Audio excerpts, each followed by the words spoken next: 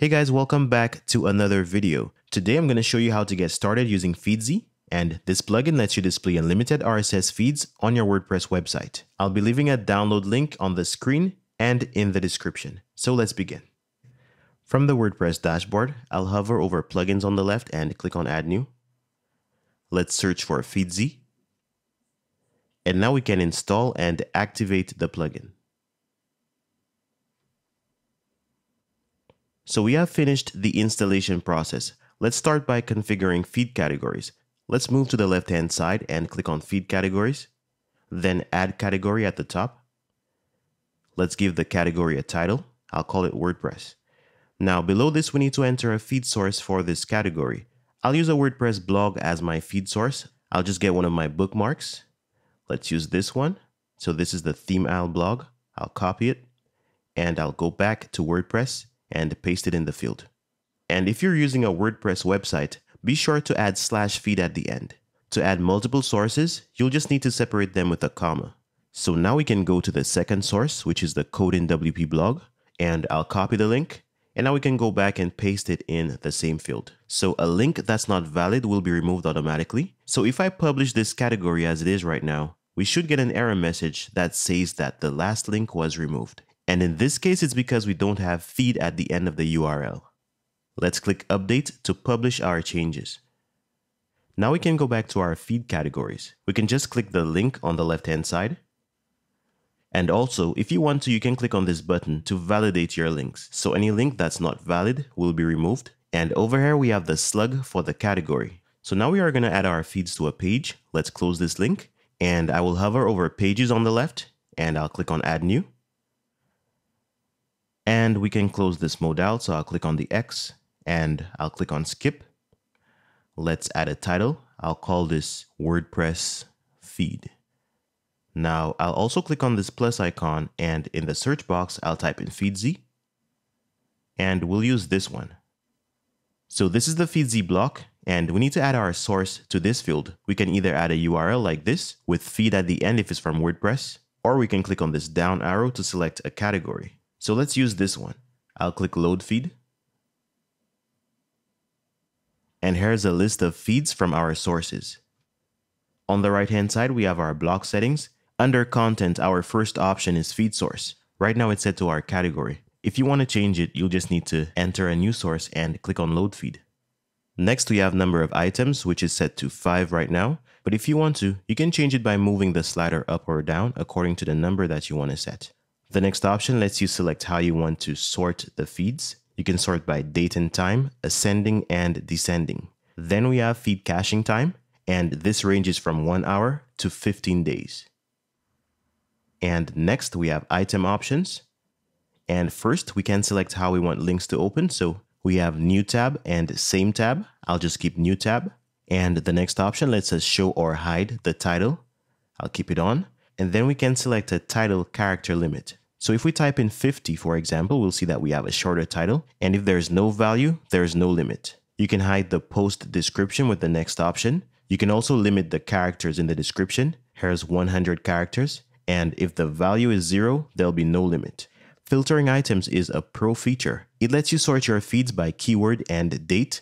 I'll leave a link to Feedzy Pro in the description. And finally, we have the advanced tab and it just lets you add some CSS. So now we can move on to the Style tab to configure its options. Let's go to Item Image Options. And the first option here is Display First Image if available. We can display it either with or without a fallback image, or we can select No. We can also set the thumbnail dimension for the image. So it's set to 150 right now. We can change this to 50 to see what it looks like. Let's change it back.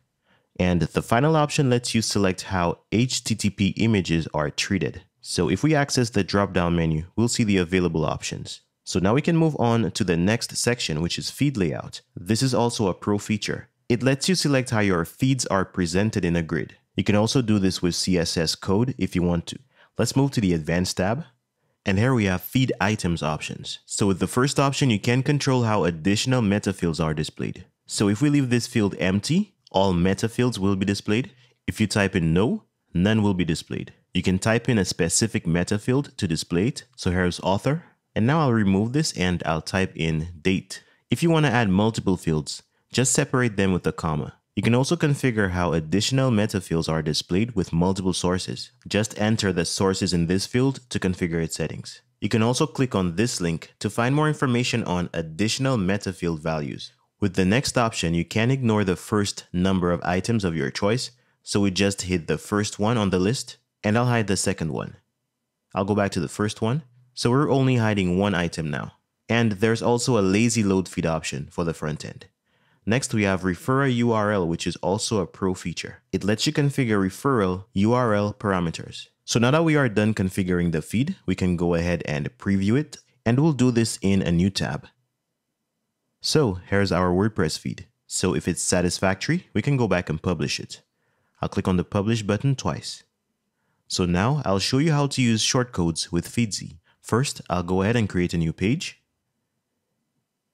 Let's call this shortcode test. Now I'll remove this section and I'll add a shortcode block. Just type in shortcode in the search box. Here it is.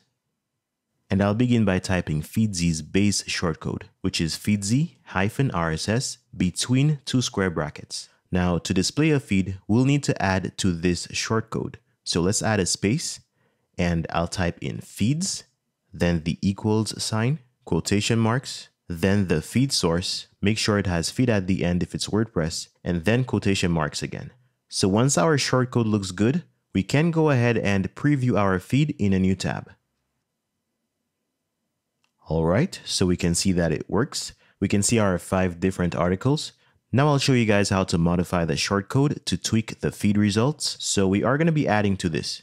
So I'll open a page from Feedzy's documentation. I'll also leave a link to this in the description. So you can refer to this document when modifying Feedzy shortcodes. Here you'll see multiple examples of how shortcode parameters are used. So we are going to be using the max parameter. Let's limit the number of feed sources to two. So now we can go back to the WordPress editor. Let's add a space after the last quote. I'll type max equals quote to quote. And let's preview this in a new tab.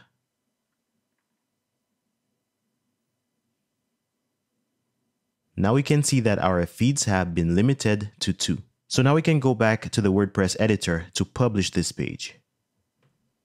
So now I'm going to show you guys how to import posts with Feedzy. Let's hover over Feedzy at the bottom and click on import posts.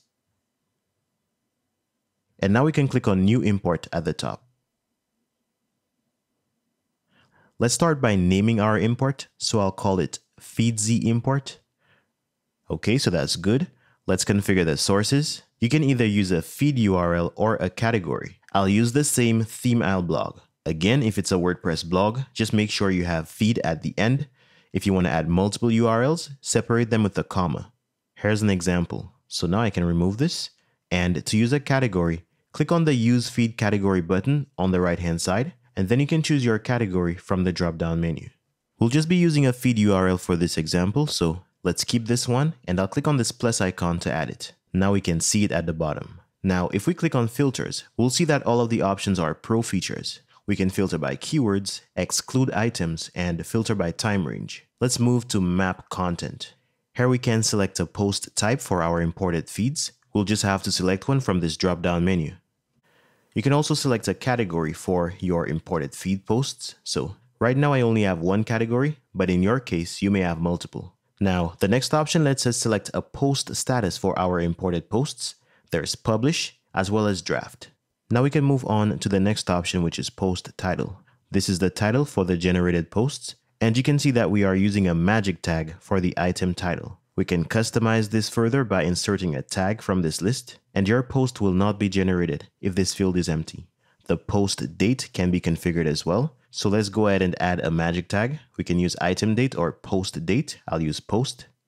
And the next section is content. This one refers to the content for the generated posts. We have an item content magic tag. And of course, we can add to this by clicking on the insert tag button. This field is also mandatory. And then we have featured image. So we can add a featured image to our post by clicking on the insert tag. And then we can add an item image magic tag. We can also use a URL to add an image. The final section is general feed settings. We have auto delete, which is a pro feature, remove duplicates, and we can also configure the items count. So how many feed items should we import from the source? Right now that number is 10, but we can change this to about 4. Okay, so that's good. Now if we scroll down, we can either preview our import, we can just save it, or we can save and activate importing. So I'll click on this one. So we're back on the import page. Now we need to run our import, so I'll click on run now. The importation was a success. Let's refresh this page.